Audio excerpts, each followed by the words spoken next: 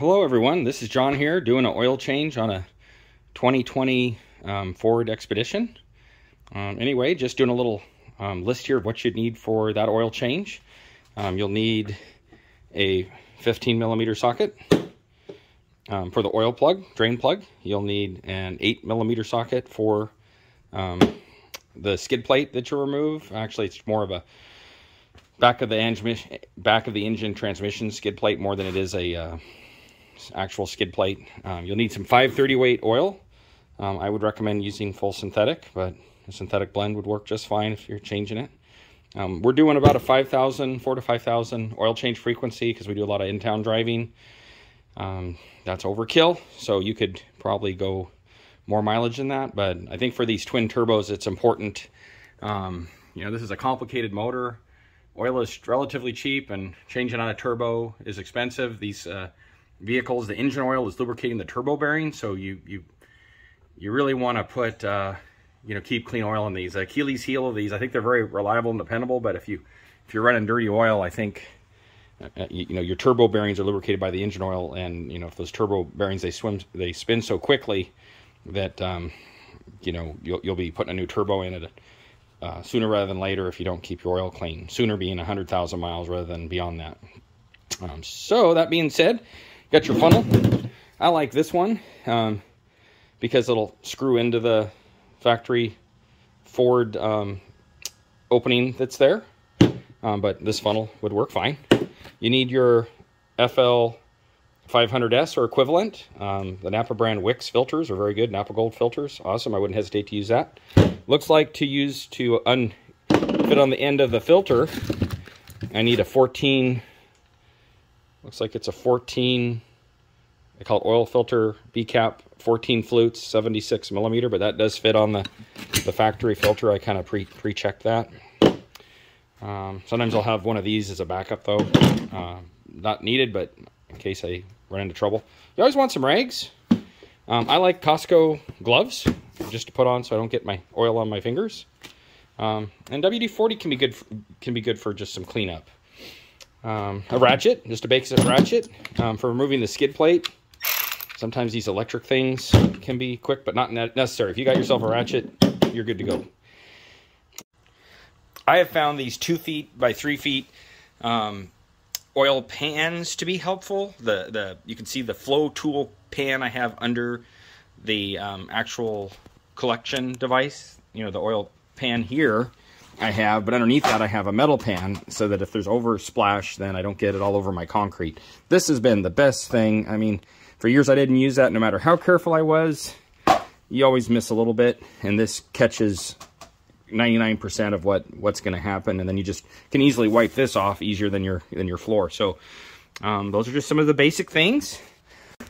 I did put the car up on ramps today, um, just some kind of cheaper plastic ones. Those are not necessary.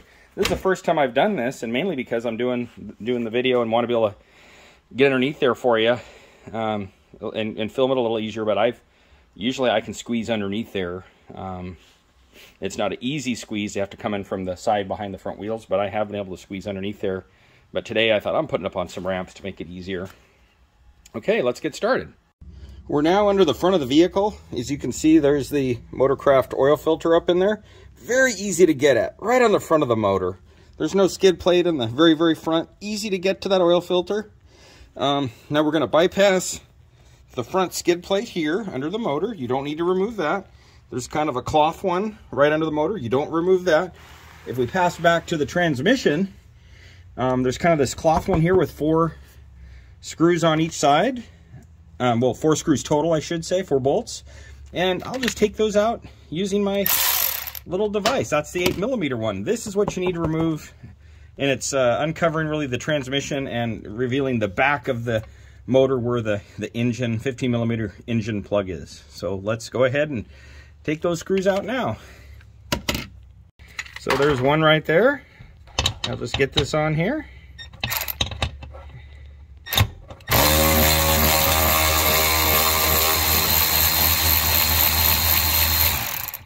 Very easy. Here's the other one right next to it. And then there's two just like that at the back side.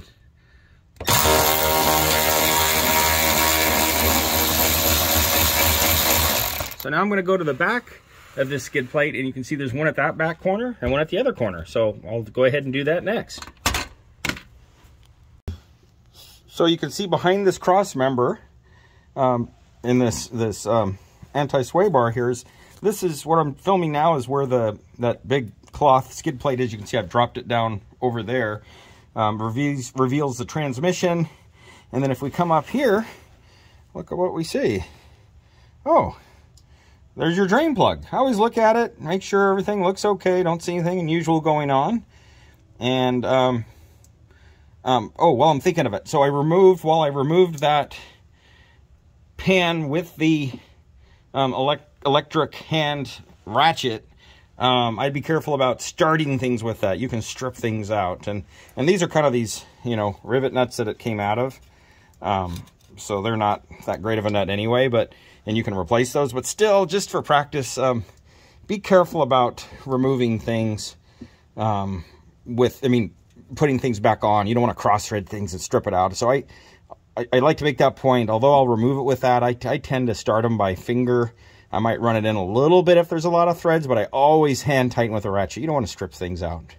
And, and this um, oil drain bolt for sure I'll remove by hand and I will start by fingers, finger with my fingers so I can tell if I'm starting to cross thread.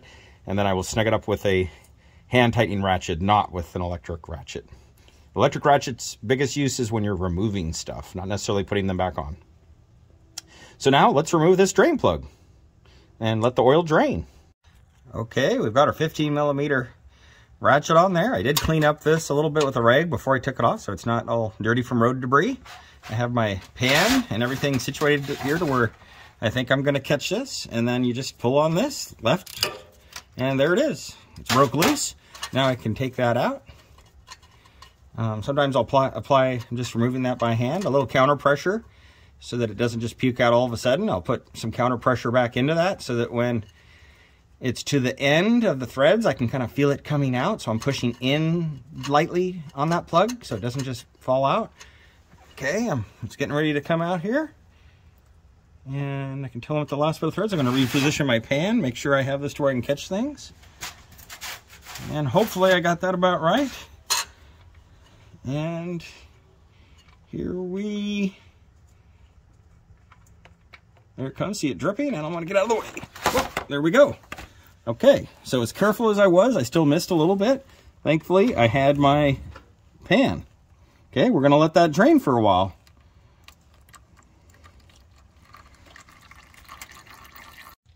Here it is draining. I can see this oil has about 4,500 miles on it. Um, looks like it's ready to come out. It's black, but it, to truly know, we'd have to do an oil analysis, but I'm not, I'm not doing that today. But uh, Blackstone Labs, you can always mail it off. And you can see, I'm glad I had my pan because look at how it dripped. Even though I thought I had it in the right spot.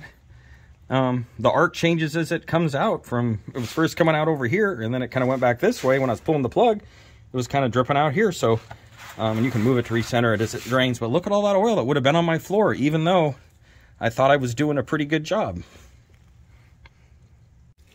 While your oil's draining, um, look around underneath your car. Use it as time to just a little, little visual inspection. It has to drain anyway. Look at your transmission. See if you have any leaks up there around the pan. We don't in this instance, so that's good. Look at your exhaust. Is anything unusual happening? Any dents or anything that might stand out? Check your CV boots up here. Um, any tears in your CV boots? Is grease coming out? That's something you can catch with your eye. Even if you don't fix it yourself, you can you can catch that. Um, you know, look around your motor. Any any weird signs of oil or anything dripping around here? Uh, in this case, I don't see anything, so that's good news.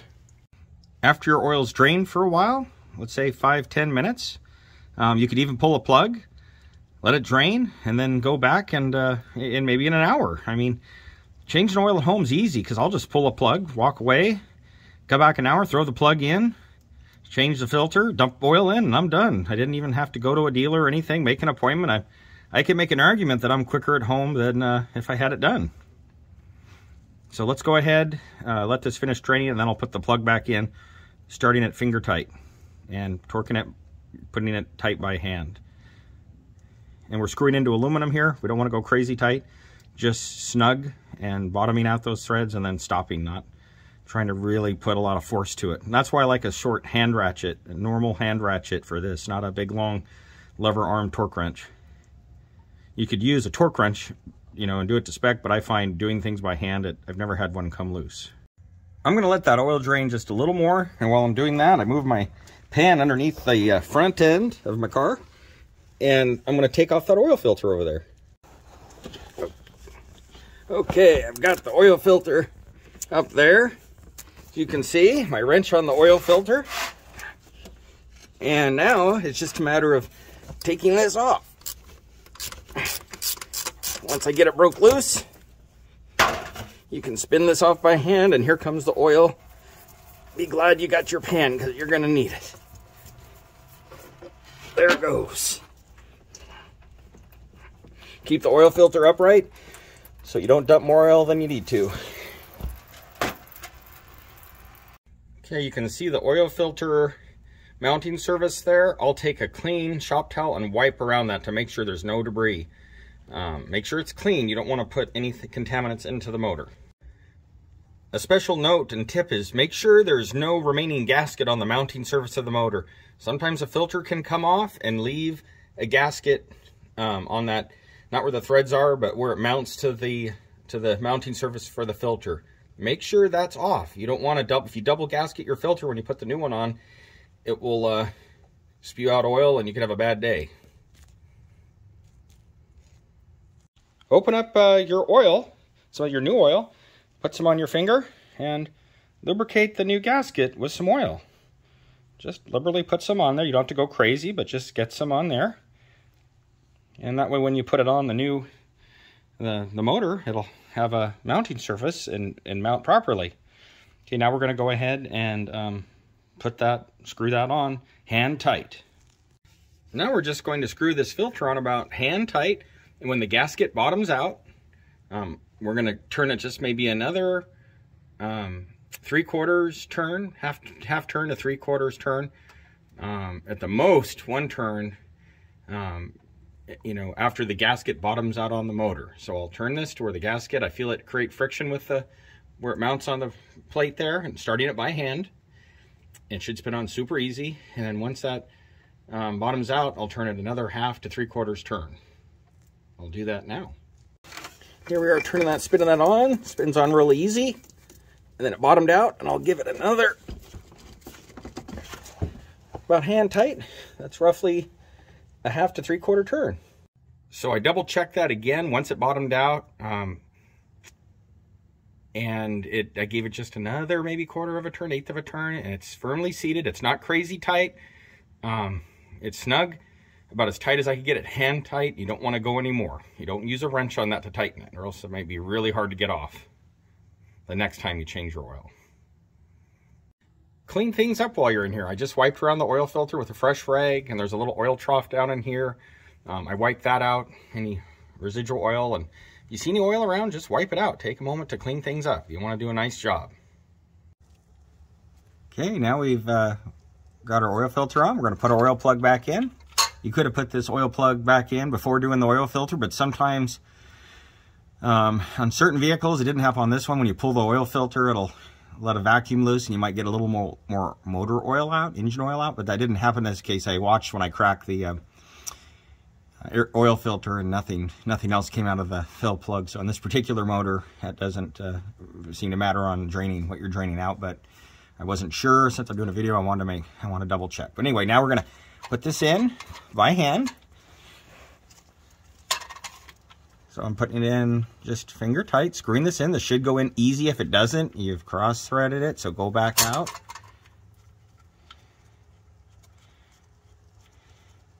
Okay, I've got that snugged up. I'm gonna wipe down some of the oil from around that, clean it up a little bit. I'm gonna take my socket and we're just gonna go hand tight. So we're, we're, we're taking it hand tight and now we're gonna um, take it um, snug with a ratchet, a hand ratchet, just a short, regular ratchet, not an overly long one. We're screwing into aluminum here. Um, we don't want to strip this out, so I'm just going to bottom it out, and now I'm just feeling with that. Okay, that's about it's not going any further and you don't want to push anymore. That's all it's got. You stop right there. It's got a rubber O-ring on that plug, so it doesn't need to be crazy tight. Now it's just a matter of taking the sound deadening skid plate type thing. It's not really a skid plate, it's more sound deadening material, that felt stuff. We're going to put that back over the engine um, oil pan here, um, transmission pan that is, um, just to its original mounting point. So those four um, screws you'll just put in, you know, um, hand tight and then, then snug. I'll go ahead and replace that now. I'm going to try to catch this on film for you on camera. Um, so there's this little tab on the skid plate. You got these two screws in the front, and this piece of felt has to go on top of that piece of metal. I've screwed that in before where um, it wasn't on top, so you're going to go on top on the outsides where the bolts go, and this piece of felt is going to go on top. You don't want to get this all the way on like like that. You know, so on the sides where the bolts go on top of the metal on the bottom side, and then on the um, that little tab will go on top. I've put this on before and got it all the way on, and I was ready to move on. I was like, oh, I got that on the wrong side, which probably wouldn't be the end of the world, wouldn't really do anything, but might as well do it right. Just a little tip on hand tightening these um, felt skid plate um, bolts is, th these are just small. They're, they're eight millimeters. They're not real big, so I'll often choke up on the ratchet up here instead of holding on the edge of the handle. That way you can't use a lot of force, and I'm just gonna snug that up. And then, you know, that's, that's all it's got. You could also use a stubby wrench, but if you got on the end of even a small ratchet, you can strip some stuff out. Um, so just, when it's done, snug, just stop. That's that's all it's going to give you. Um, so just a little a little tip for, for tool use there. Choke up on the handle up here, hold it like that, and then tighten like this rather than get on the end for these, these little bitty ones. Now for the drain plug, I did get on the end, but I didn't use a lot of force because I have more leverage. Um, so just a, a, little tip there. So now it's just a matter of cleanup, taking your um, drain pan, oil filter, all those things, cleaning it up, recycling your oil. Take your oil to your recycling center, put it in some milk jugs or however they want that handled. And now we'll move topside and put the oil in the motor. Of course, do not start your motor now. You'll have a really bad day. It'll ruin the motor. So obviously, I know that doesn't need to be said, but I've always been panicked that, I don't know, I, I would, somebody be, I'd be midstream and maybe my wife or somebody need to move the car and they, they wouldn't, especially if we're on ramps and obvious that we're, the oil is being changed. But just whatever your method is, of course, don't start it when there's no oil in the motor. Um, so let's move up top side and um, put some oil in the motor. I think this takes uh, six quarts of um, 530 weight oil. There's your oil drain plug on the right side of the top of the motor. You can see here's the top of the motor. Got your cover and then right there. And look, it should tell you what oil to use. 5 weight 30 oil. I would use what the manufacturer recommends on these modern motors. I wouldn't try to try something different. Um, I usually take lemon pledge, throw it on a little bit of a, uh, of a rag, and then I just wipe things out while I'm in here. Wipe it down, clean it up. You're in here anyway. Just takes a moment, and then when you're done, it'll look like somebody detailed your car. If you do that every time, um, it'll never be like an ugly, ugly mess. Um, if your battery's nasty and got all kinds of stuff on there, look at that. May need to clean those those up, but you know, don't wipe that stuff around. You'll want to handle that a different way. Maybe you top off your uh, your uh, fluid for your um, wipers while you're in here. I'll probably do that today. And, and just generally look around, see if you see anything out of place. Um, sometimes I've found things that weren't quite right. Something was disconnected or needed an attention, and I fixed it while I was changing my own oil. Um, that's why I kind of like doing my own service is I'll check coolant. Um, I'll check I'll check my air filter. I probably won't today because I know that last time I changed oil, I, I changed it. Um, it's just easy to inspect. So we'll go ahead and put our funnel on here and put six quarts of fresh motor oil in here after I wipe out this engine bay a little bit. Yeah, we're in here anyway. Let's top this right, this uh, wiper washer fluid. It has a uh, blue cap, has um, kind of a, you can tell it's obviously got washer fluid there. It shows water or fluid squirting on the windshield. So let's pop that cap off. Um, make sure it's rated for the degrees. If you're somewhere cold, you want to make sure it doesn't freeze. This is to minus 25, and we'll be lucky if it gets below freezing here, so we're fine. Doesn't hurt to get a funnel. I'm just going to wing it, and I'm getting lucky. But getting a funnel is never a wrong thing. So look at that. I didn't even know that was... Uh, almost empty, but you can catch things like that when you service your own vehicle.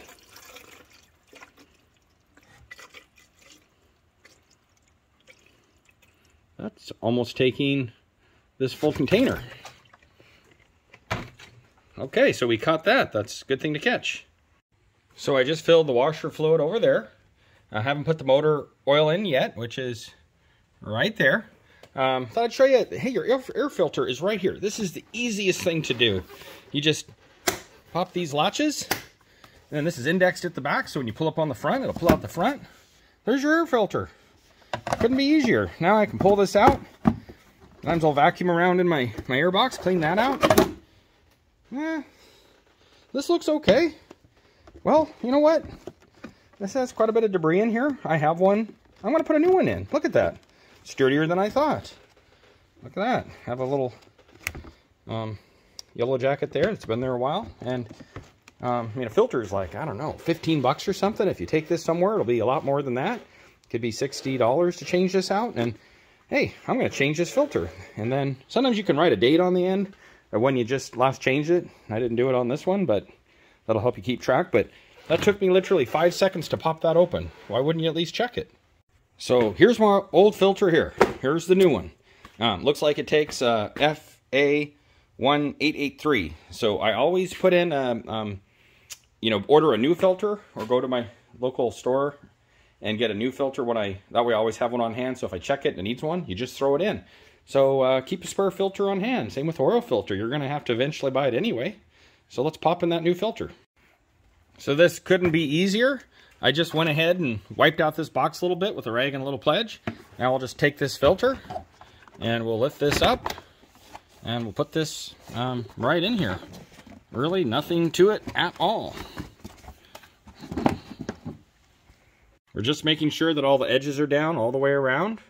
And they are.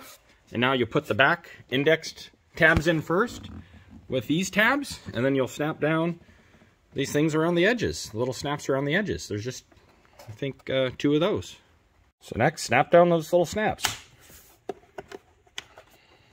That was after I got the back tabs in and this scooted all the way to the back. There, now we have a new um, engine air filter. Clean air is important for those turbos and your motor as well. Now it's just a matter of adding the engine oil. We're going to put um, six quarts in. And I do love this filter. It snaps into the OEM attachment here. So you don't have to worry about your funnel falling off. But a regular funnel works fine. I did it for years without that. And we're just going to repeat this five more times. Be sure to remove your funnel and put your oil top cap back in. Now it's just a matter of starting your vehicle. Um, letting it run for a few minutes to circulate the oil through the oil filter and oil galleries. And then shut it off let it set a few minutes, and then check where your oil is on the dipstick. It should between um, be at the desired range on the dipstick. Um, when I was pulling this on with the ramps, the ramps kept sliding as they were being pinched forward, so I just put a towel underneath each ramp, and then it quit trying to scoot forward as I was pulling on. Um, just kind of a tip if, if you have that problem. Um, so with your air filter, this is what I was talking about. You could uh, make a note in your phone and keep track of the date and mileage, just put new engine um, air filter. Um, also, when you change your oil. Or you can just write on this air filter. So next time you change it, you have a reference. Here we are. We got a date on there. Just use a permanent marker and uh, have the mileage, 16,000, you know, roughly 800 some miles. So when I change it next time or just inspect it, I can correlate and look at this one. A lot cleaner than the other one. So you don't want your engine breathing dirty air. So just a quick little tip. You don't have to do that, but it's really not that hard. It doesn't take much time. Oh yes, now we must reset the engine oil life uh, so it doesn't give you a message later that, hey, you haven't changed your oil, dummy. Um, so we're gonna go in here, um, starting at the digital speedometer, we're gonna go over two tabs, one tab to trip fuel, says at the top, and the next one kind of has a little vehicle on it. Um, and you're gonna go to engine information, just toggle up and down, you get engine information, hit okay. And then it says um, hold okay to reset. So I'm just going to hold on the OK button, and there it's back to 100%. So then you can go back to the setting that you want to be on. Okay, this motor's been started. It's ran probably just uh, about a minute or, or less. And now here's your dipstick. There's your oil fill. Here's your yellow dipstick. We're gonna pull that and um, pull it out, wipe it off, stick it back in, pull it out, and see where we are on the dipstick. So here's the dipstick. I've wiped it off with a clean rag. Of course, always use a clean rag because this is going around your motor. And when we put that back in, we want to be sure that we are um, not where that top level is. So I don't know if it's, I know it's hard to see. Um, the O, the top stamp is your overfull. Then there's the hash marks. You want to be on those hash marks on the top and bottom side. There's kind of a hash mark here. You can, there you go. You can see you want to be, um, you don't really want to be above that hash mark, but, um, and then you don't want to be that other hole at the bottom. That means you're, you need to add oil. So let's see where, where we're at on this. So we've wiped this uh, off with a clean rag. We're inserting the dipstick. We're going to put it all the way to where it seats down. Okay, there it clicks down where it's supposed to go. We're going to pull it out, and you want to wait.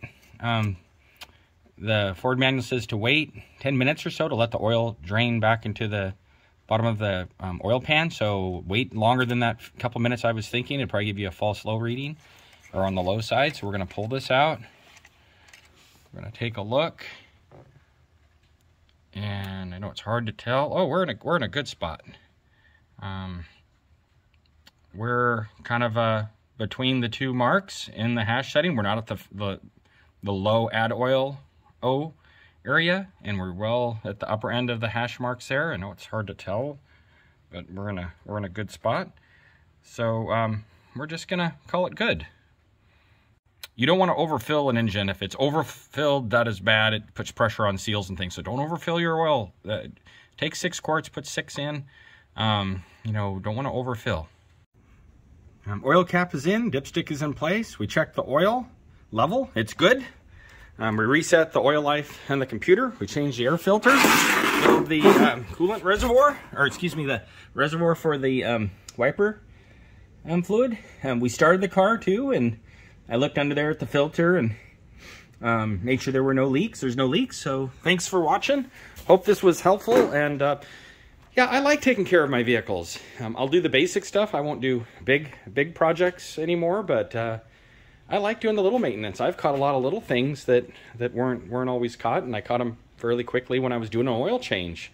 So even if you have your dealer do some of the big repairs you find, you'll have a familiarity with your vehicle and what's going on underneath there, oil leaks, new oil leaks, oil, old oil leaks, and it really didn't take any extra time. So uh, there you are. Hope this helps, and I think most of you are very capable of doing this yourself. And um, just take your time, and um, I think you'll find that it's really not that bad. So good luck, and thanks for watching. These vehicles really are easy to service. Um, there's no reason to be intimidated. Um, I've had other vehicles that are harder to change the oil on, but this Ford Expedition is just really nice to maintain. Um, you don't have to be scared of it. So go for it. Hello everyone, this is John here doing an oil change on a 2020 um, Ford Expedition. Um, anyway, just doing a little um, list here of what you'd need for that oil change. Um, you'll need a 15 millimeter socket um, for the oil plug, drain plug. You'll need an 8 millimeter socket for um, the skid plate that you remove. Actually, it's more of a back of the engine, back of the engine transmission skid plate more than it is a uh, actual skid plate. Um, you'll need some 530 weight oil. Um, I would recommend using full synthetic, but a synthetic blend would work just fine if you're changing it. Um, we're doing about a 5,000, 4 to 5,000 oil change frequency because we do a lot of in-town driving. Um, that's overkill, so you could probably go more mileage than that, but I think for these twin turbos, it's important. Um, you know, this is a complicated motor. Oil is relatively cheap, and changing on a turbo is expensive. These uh, vehicles, the engine oil is lubricating the turbo bearing, so you you you really want to put uh, you know, keep clean oil in these. Achilles heel of these, I think they're very reliable and dependable, but if you if you're running dirty oil, I think uh, uh, you, you, know your turbo bearings are lubricated by the engine oil, and you know if those turbo bearings they swim they spin so quickly that um, you know you'll you'll be putting a new turbo in it uh, sooner rather than later if you don't keep your oil clean. Sooner being hundred thousand miles rather than beyond that. Um, so that being said, got your funnel. I like this one um, because it'll screw into the factory Ford um, opening that's there, um, but this funnel would work fine. You need your FL 500S or equivalent. Um, the Napa brand Wix filters are very good. Napa Gold filters, awesome. I wouldn't hesitate to use that. Looks like to use to un fit on the end of the filter, I need a 14, looks like it's a 14, I call it oil filter B-cap, 14 flutes, 76 millimeter, but that does fit on the, the factory filter. I kind of pre, pre-checked that. Um, sometimes I'll have one of these as a backup though. Uh, not needed, but in case I run into trouble. You always want some rags. Um, I like Costco gloves just to put on so I don't get my oil on my fingers. Um, and WD-40 can be good for, can be good for just some cleanup. Um, a ratchet, just a basic ratchet um, for removing the skid plate. Sometimes these electric things can be quick, but not necessary. If you got yourself a ratchet, you're good to go.